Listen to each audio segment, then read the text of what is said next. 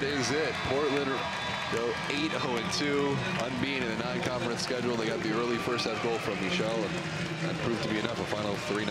Yeah, really complete performance from the Pilots tonight. Number 13 in the nation. I wouldn't be surprised to see that go up a little bit more, but it's a different beast. Conference play right around the corner. It was a big emphasis of just finding a way to, to get a result tonight. I think we deserved it. We, we played well. We got a good goal early you could see we were a little bit tired early in the match. Uh, three games in seven days, cross country trip, two very emotional, tight wins over Oregon State and Coastal Carolina. So we were on fumes a little bit, uh, but the guys found the way.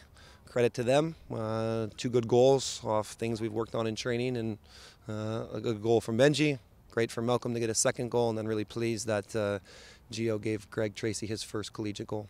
Uh, my first college goal, especially on Merlo, was great. Couldn't couldn't like replace that for anything else in the world.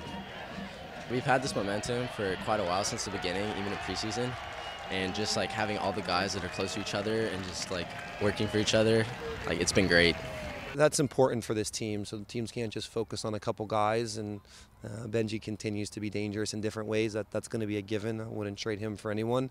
But then other guys stepping up. Gio get another assist. Greg with a classy finish. Uh, Shane Aranda came in and did a really nice job. And then Malcolm's on two goals in uh, three games. So there's a team. Uh, a lot of people talk about being a team. This is a true team, and really happy that uh, we're able to use our whole bench tonight, and every guy who was eligible to play played tonight. So uh, we needed that. Those guys deserve it every day in training. They give everything they have, and everyone on our roster is really important. So as we begin the conference and uh, play again a lot of games in a short period of time, we'll, we'll need a deep bench, and uh, really happy that guys stepped up again tonight.